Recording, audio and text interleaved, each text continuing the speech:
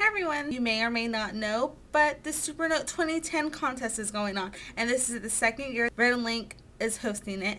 And um, yeah, it's really exciting. I unfortunately didn't do the one in 2008, even though I said I was going to do it in 2008, but I never did. So that's why I'm doing it this year. Of course, I had to be on team CTFXC. I won't promise that the Supernote will be long at all, but hey, every second counts.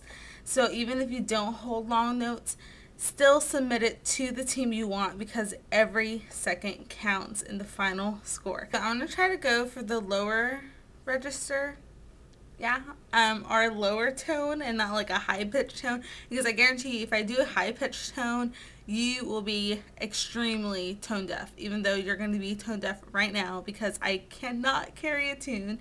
I love singing, but I cannot carry a tune. And yeah, here it goes.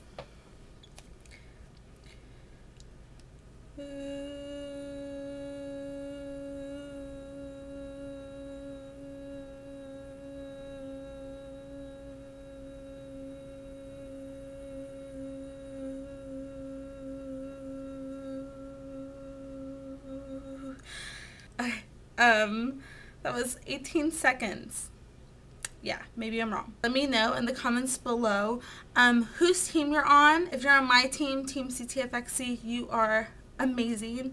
If you're not, then your team is obviously going to lose because my team is going to win. Follow me on Twitter, twitter.com slash I love underscore shoes, and I will see you guys in next video. Bye!